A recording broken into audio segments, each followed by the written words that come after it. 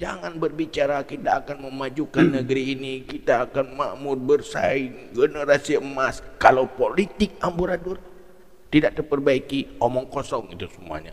Selalu negeri ini berada di tangan yang salah.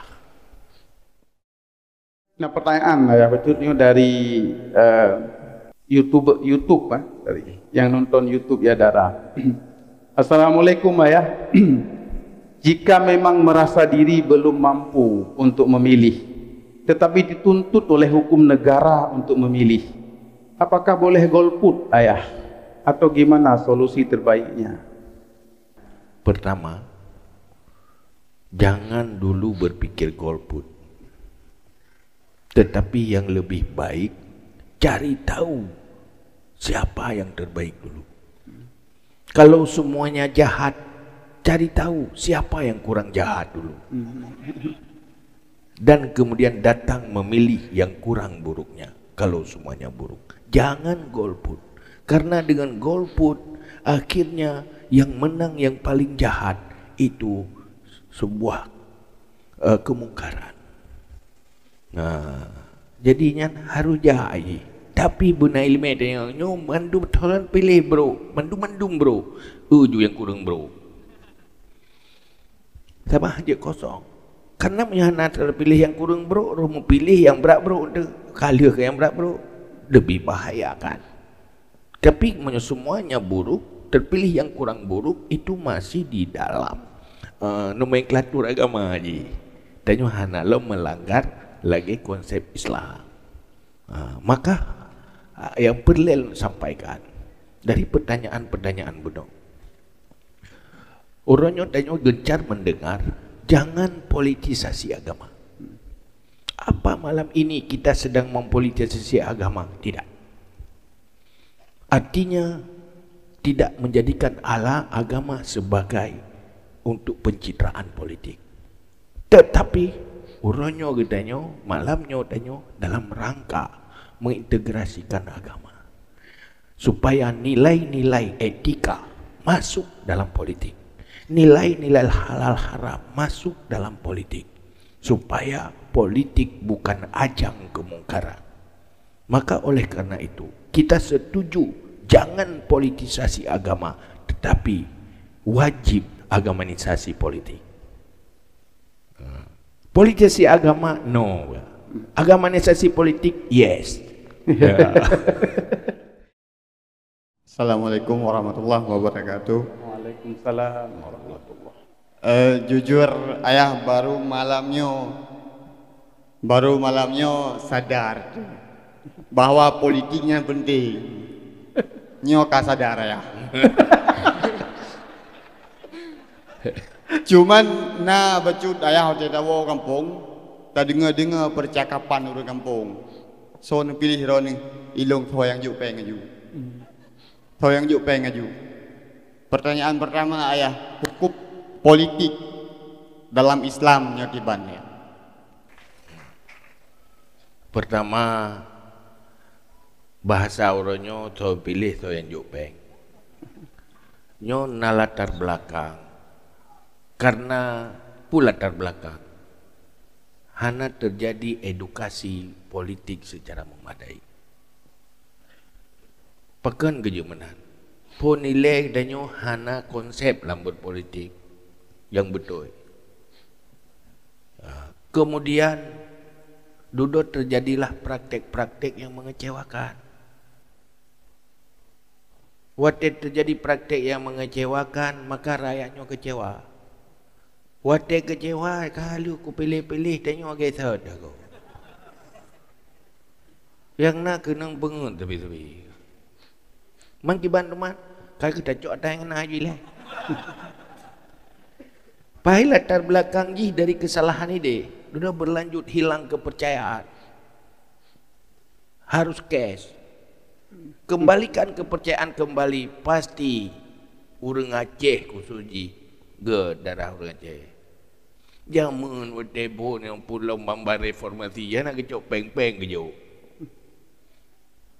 Tapi jagalah kepercayaan untuk kepercayaan itu mesti pribadi-pribadi yang adalah dan mampu punya kompetensi. Kalau tidak hilang kepercayaan. Kena lubut timohlah akibat-akibatnya. Ha, cuma orangnya pakai bahan. Hai pun pakai bahan. Oh, kebang ke kita dua ini aja pegah-pegah aja lah. Pegah-pegah aja lah sampaikan lah. Mulai juga Nabi dakwah aja. Man hasi hana urusan asi ngasi urusan asi pegah habis. Wah masalah berbalik kondisi. Innaka innama antar balak. Nabi manteng tugas menyampaikan. Dan kita sampaikan. Kegelangan Allah kita sudah sukses. Apa sukses? Tugas sudah terlaksana. Amar ma'ruf nahi mungkar. Lakukan amar ma'ruf nahi mungkar. Bicarakan itu. Drone yang kali ber-ber ini pegah. Kau dengar je mana? Oh, irok aku petih dah minta orang yang petih-petih minta. hmm. Tengok dah pegah lom sadar ke kan? Jangan berbicara kita akan memajukan negeri ini, kita akan makmur bersaing generasi emas. Kalau politik amburadul tidak terperbaiki, omong kosong itu semuanya. Selalu negeri ini berada di tangan yang salah. Penguatan dari ayah, apakah benar bahwa segala kebijakan dari politik itu berpengaruh terhadap harga barang? Karena salah satu fungsi siasah politik tadi adalah mengatur kehidupan manusia. Demikian. Assalamualaikum warahmatullahi wabarakatuh. Waalaikumsalam. Ya berkaitan dengan ekonomi. Ekonomi. Kebijakan ekonomi. Kebijakan ekonomi. Persoalannya, persoalannya pemimpin agama itu adalah pemimpin yang memperbaiki dunia dan agama. Agama itu yang paling utama adalah moral. Moral kalau kita tahu tentang moral luas sekali. Persoalan rusak ekonomi kita karena ada kegagalan moral di pengambil kebijakan, kegagalan moral di elemen anak bangsa. Sehingga terjadi kesenjangan antara oligarki dengan orang miskin yang ekstrim. Karena kebijakan. Kenapa? Saat politik bisa dibeli dengan uang maka oligarkilah menjadi penguasanya sebenarnya. Mereka adalah kapitalis. Mereka ingin mengeruk semuanya dengan membiarkan masyarakat miskin. Sehingga urutnya pertumbuhan ekonomi inang gerogedanyo mengikatkan le angka pertumbuhan ada sampai 5%. Tapi persoalannya pertumbuhan itu hanya di tangan segelintir. Islam tidak boleh tadawul ekonomi bainal aghnia. Maka itu harus lahir pemimpin pemimpin yang agama itu pertama pemimpin punya empati. Yang kedua takut pada Allah. Takut dengan dosa-dosa. Itulah orang adil. Ha. kenapa para rasul para rasul dulu pemilih apa pengembala domba. Belajar untuk menjadi penyayang karena kebirinya kaminya menyodai lanya hai balah je dah dah hana bahana berisiko dah kalau tanpa kasih sayang teraniaya aja. Hmm, maka belajar untuk pribadi yang punya kasih sayang. Ya yang namanya nabi orang dekat dengan Allah. Maka kepucarakan adil dulu.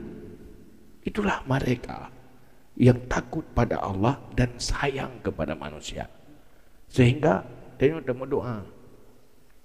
Allahumma la tusallit alaina bizunubina yakhafuka wa Ya Allah, jangan sampai kami di bawah kekuasaan orang-orang yang tidak sayang pada kami dan tidak takut padamu. Itu berbahaya sekali. Apabila syarat-syarat dalam kepemimpinan kriterianya menjadi pilihan insya Allah kita tidak di bawah kekuasaan manusia yang tidak menyayangi. Jadi pemimpin itu orang yang menyayangi rakyat. Empati terhadap nasib rakyat. Dan nanggro dan nyonyo kan hanagat sumber daya alam. Luar biasa.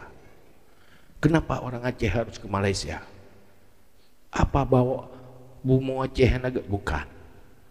Malaysia terurus dengan baik, maka jadi solusi bagi bangsanya dan bagi tetangganya.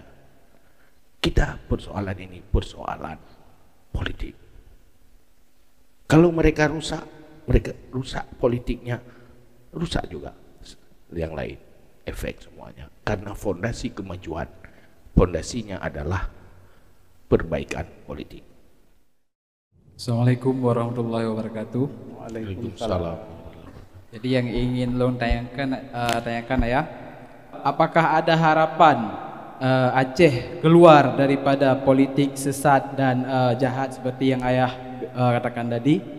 Sedangkan kita lihat negara-negara uh, lain umumnya, uh, negara kita khususnya dalam tanda kutip sudah sekuler dalam berpolitik. Uh, sekian dari saya. Assalamualaikum warahmatullahi wabarakatuh. Waalaikumsalam Intinya apa ada harapan untuk perbaikan. Kesuksesan tidak pernah terjadi pada mereka yang putus asa. Laksanakan tugas. Tanya kali lebih contoh oleh Nabi.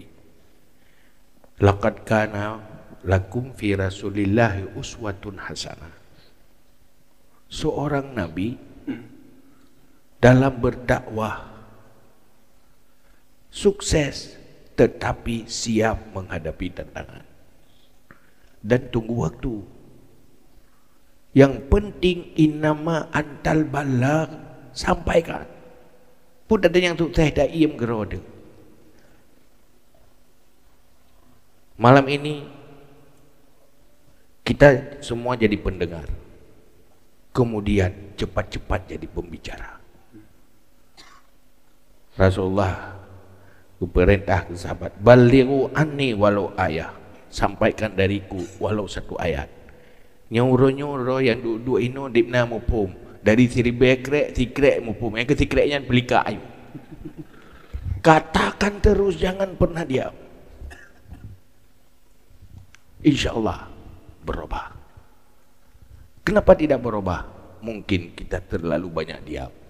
Mungkin ya orang galak tak kemah diam itu emas.